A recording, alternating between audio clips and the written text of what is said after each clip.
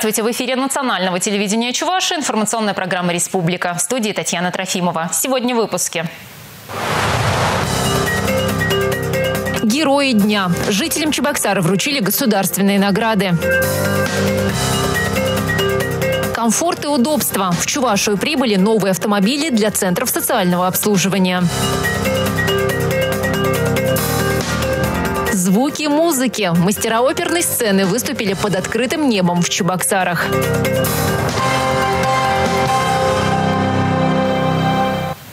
Столица в лицах. Сегодня жителям Чебоксар вручили государственные награды за особые заслуги. А героев дня – сюжет Дмитрия Ковалева.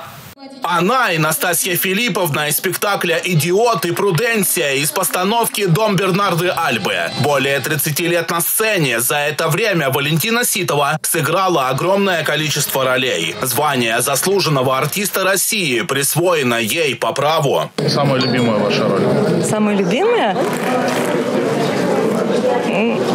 Наверное, давно отыгранная. Инчители, щеды, лизук. Конечно, все для меня театр. Михаил Кондратьев на протяжении многих лет изучает основы искусства и национальной культуры. На счету академика сотни публикаций и десятки научных пособий. Труд достойный медали ордена за заслуги перед Отечеством второй степени. Указ о присуждении награды подписан президентом. Очень глубоко чувствую, насколько важна наша деятельность, наша сфера. У нас в Чувашии все-таки в течение 20 века очень много сделано и э, продолжает делаться для не только социальной сферы, но и для гуманитарной сферы. Медалью ордена за заслуги перед республикой наградили врача-хирурга Геннадия Арсютова. В его династии все профессионалы. Поддержать отца в дом правительства пришел и сын, главный офтальмолог региона.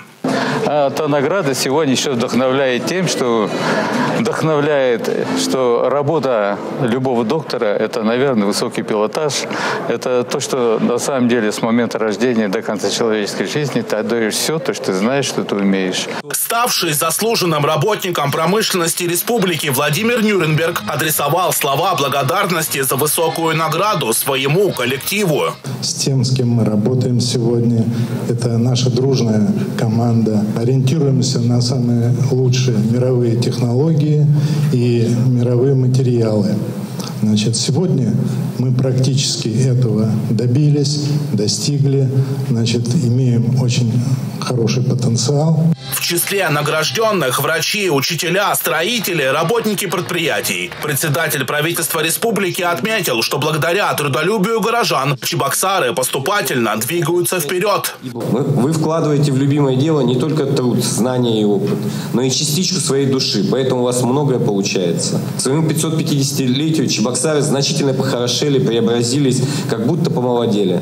Сегодня Чебоксары – это гордость нашей республики, мощный индустриальный центр, один из самых благоустроенных городов России. Непростая задача фотографов – сделать групповой снимок героев дня. В одном кадре более 40 человек, заслуживших высокие награды. Дмитрий Ковалев и Андрей Спиридонов. Республика. В Минфине России сейчас в разгаре подготовка бюджета на 2020-2022 годы. Задача в первую очередь обеспечить финансирование национальных проектов, а значит и их региональных составляющих. Нюансы обсуждали сегодня в Чебоксарах на заседании постоянной рабочей группы Минфина страны по совершенствованию межбюджетных отношений. Одна из главных целей национальных проектов – повышение уровня жизни населения. Достигать этого планируется с помощью различных программ и подпрограмм. К примеру, такой вид поддержки, как социальный контракт, когда членам нуждающейся семьи помогают найти работу, создать собственное дело или выделяют средства на организацию подсобного хозяйства, теперь будут финансировать на уровне федерации. На следующий год выбрано 13 пилотных регионов. Однако нужно предусмотреть ряд нюансов, чтобы такая помощь была эффективной. И корова, которую купили для обеспечения семьи молочными продуктами, не пошла на мясо или продажу, отметила заместитель губернатора Томской области. Социальный контракт, он предусматривает прежде всего развитие, ну, если так уж формально сказать, э, производственного потенциала семейного хозяйства. То есть это не просто вот э, дали, чтобы он хлеб купил там, или там одежду, или еще что-то, а чтобы он мотоблок купил, корову купил, там, птиц, там, или я не знаю, что там, отремонтировал стайку. Вот этот контракт очень, на наш взгляд, эффективен. Что касается Чувашии, мы вошли в число регионов, для которых разработают индивидуальный план развития. Рассматриваются основные направления которые э, помогут региону э, выйти на другой уровень развития, более выше. То есть будут способствовать росту заработной платы, э, созданию современных производств, новых рабочих мест и, соответственно, снижению безработицы. При этом учтут развитую аграрную специализацию и другие особенности региона. Вообще, в условиях нацпроектов специалисты Минфина страны теперь мыслят периодами не в три года, а сразу в шесть, рассказала председателю Кабинета министров Чуваши Ивану Моторину директор Департамента межбюджетных отношений Минфина России Лариса Ерошкина. Что касается сбалансированности бюджета на местах, Чуваши есть чем гордиться. Подвели итоги качества управления финансов за прошлый год. И республика вошла, вот просто даже представить себе эти цифры. Мы анализировали 16, 17, 18 год. У нас только 8 субъектов, которые э, в течение этих трех лет занимали первый, э, первый степень качества управления финансами. В том числе мне отрадно сказать, что, да. да, что вы входите в эту прекрасную группу. В заседании рабочей группы участвовали руководители финансовых служб Томской, Ростовской, Вологодской, Волгоградской областей, Ставропольского края и города Севастополя. Ольга Пырочкина, Андрей Спиридонов. Республика.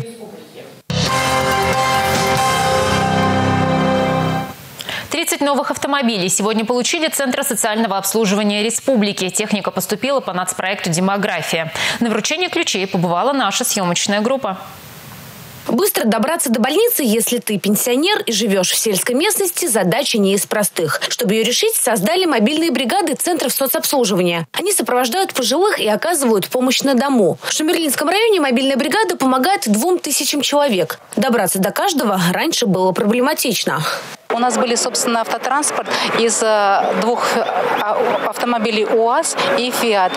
Но были трудности. Автобусы не всегда вовремя, э, не во все населенные пункты могут доехать. Или доезжают один раз в неделю. С этими машинами попасть на прием к врачу будет легче. 30 «Газелей» и «УАД» получили все районы республики. Они приспособлены и для малого мобильного населения. Есть спецподъемник, кнопка вызова и место для коляски.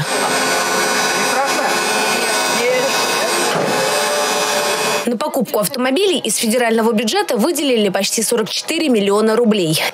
Стоит задача довести э, среднюю продолжительность до 78 лет, а без э, должного медицинского обслуживания, именно старшего поколения, этого достичь будет тяжело. И э, доступность, понятно, что в городе она максимальная есть у, жителей, эту доступность нужно поднять на селе. В следующем году медики проведут дополнительную диспансеризацию, проверят здоровье людей старшего возраста. В первую очередь тех, кто живет на селе. А с новыми автомобилями это будет быстрее и комфортнее. Татьяна Леонтьева, Бахтияр Велиев, Павел Редков, Республика. В республике продолжается подготовка к отопительному сезону. Плановый ремонт завершен более чем в 600 котельных. Ход работ сегодня обсудили члены комиссии по предупреждению и ликвидации чрезвычайных ситуаций. Главная задача – не допустить сбоев в работе жилищно-коммунального хозяйства в новом сезоне. На случай аварии предусмотрены резервные источники теплоснабжения. В сентябре управляющие компании должны завершить ремонт оборудования и получить паспорта готовности. Продолжается у нас работа по подготовке многоквартирных домов. 89 9% многоквартирных домов опрессованы и промыты, а, отремонтировано 70% кровель, 82,5% внутридомовых систем водоснабжения, 45% систем теплоснабжения, 68% систем канализации. Паспорта готовности оформлено 10% многоквартирных жилых домов, это 496 многоквартирных домов. В полном объеме а, работы подготовки к этому сезону завершены а, в Красночитайском, Патрикском и Ладожском районах близки к завершению, к завершению работы. Это Урмарский, Шамушинский, Янтиковский, Яльчевский, Комсомольский, Пресненский и Харьковский районы.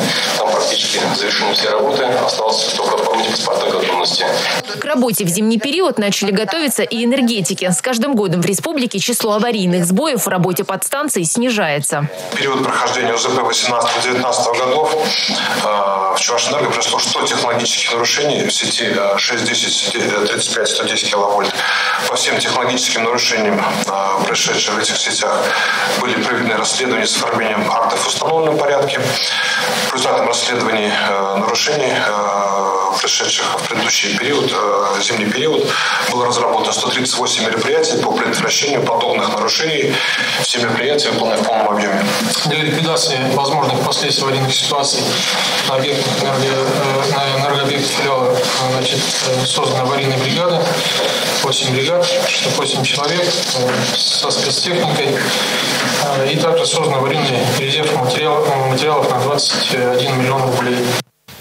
От автомобилей к человеку во главу угла при планировании любого города специалисты ставят не машины, а людей.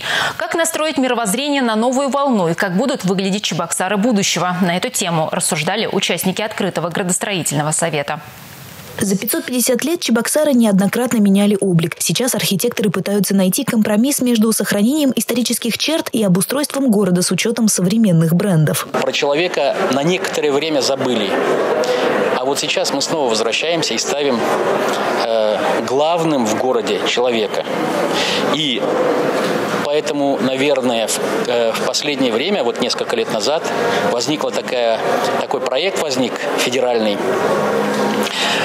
под названием «Создание комфортной городской среды». Вот поэтому сами специалисты, архитекторы, градостроители должны поменять мозги, поменять голову, поменять направление своей работы. Поэтому количество участников выездного градостроительного совета не ограничивали. Благодаря открытому микрофону высказывались и бывалые архитекторы, и молодые дизайнеры. Города на Волге чем-то схожи, и перед творческим сообществом стоит задача, чтобы у нашего города был свой характер и яркий узнаваемый образ. Стоит отметить, что встреча состоялась на базе выставки Чебоксары вчера, сегодня, завтра, где наглядно рассказывается об архитектурно-градостроительном развитии столицы Чувашии. Удивительные идеи, воплощенные в жизни, оставшие сбывающиеся мечтами. Реальность и фантазия – все это наша столица. Загляните в Центр интерьера и дизайна на улице Ярославская, 29, и вы увидите знакомые и незнакомые Чебоксары. Ирина Волкова, Бахтияр Велиев, Республика.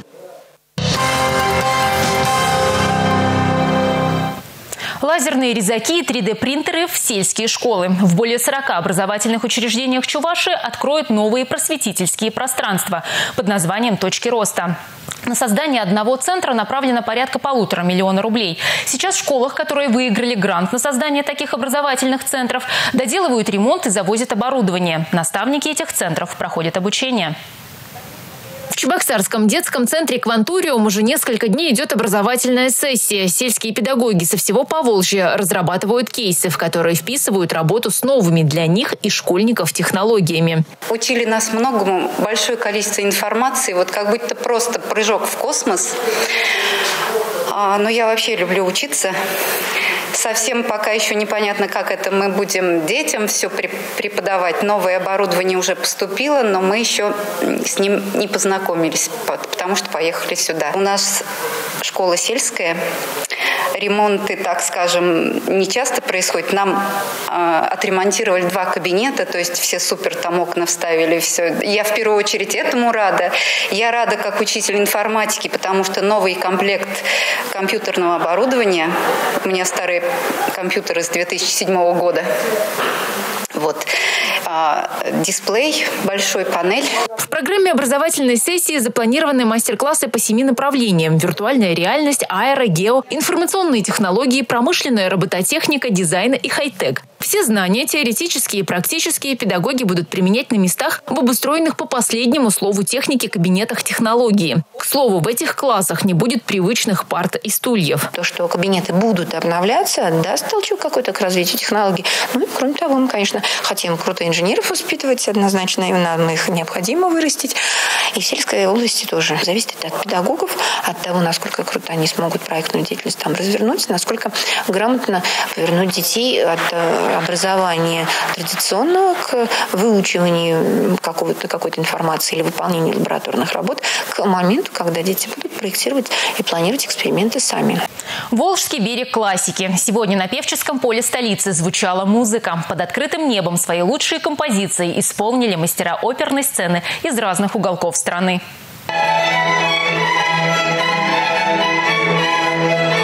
На одной сцене признанные мастера и молодые лауреаты международных конкурсов из Москвы, Санкт-Петербурга, Екатеринбурга, Нижнего Новгорода и Ульяновска. Звучит Моцарт, Брамс, Гуммель. Прекрасно, что в нашей республике сегодня находятся студенты Московской консерватории. Это Российская академия музыки, скажем, тоже. Это представитель к нам сюда приехал из Швейцарии. Приехал. Вот. И, и э, совершенно исполнение изумительное. Вот такое приумножение, именно она охват именно людей консолидирует, она людей как-то собирает.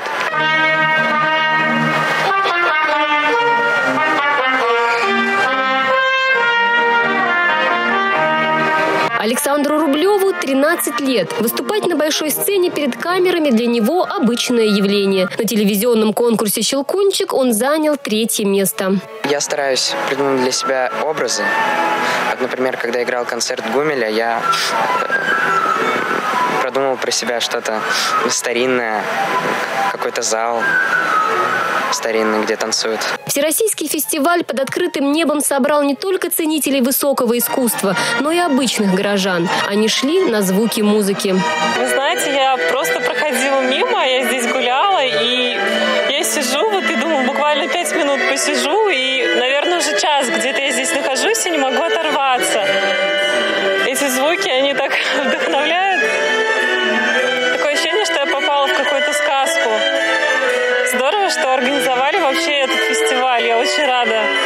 Специально пришли на этот концерт, узнали из афиши, что будет вот такое здесь, ну, как сказать, Представление. Такое представление, да. Особенно понравилось, когда вот музыка звучала и репродукцию Ван Гога показывали здесь. Я вообще люблю этого художника, поэтому было очень интересно посмотреть. И так необычно.